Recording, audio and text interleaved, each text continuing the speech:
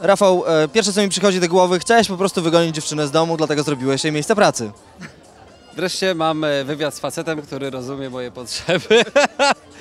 E, Ale nie, fakt faktem, e, Kamila powiedziała, że będzie tu siedziała od rana do nocy i tak szczerze to się boję, że właśnie straciłem dziewczynę, bo, bo jak ja widzę, jak ona na to wszystko patrzy, ona pracowała w innym salonie i siedziała tam godzinami, nadgodziny i to nie ze względu na to, że e, musiała, tylko że chciała, więc no tutaj może być ciężko. Firmujesz to swoim nazwiskiem, rozumiem, że to jest współpraca z marką, e, która przerodziła się w e, pomysł na biznes.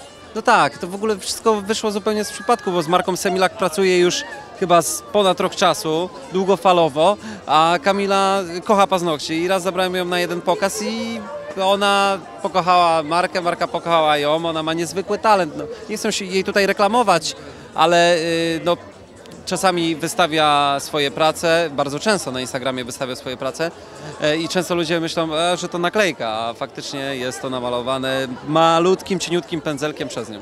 Stricte na, jako biznes y, na to nie patrzę, ponieważ, no mówię, to wyszło zupełnie z przypadku i bardziej... y, no wiadomo, chciałbym troszkę zarabiać na tym. E, włożyłem w końcu tutaj mm, trochę pieniędzy, w zasadzie wszystko co miałem.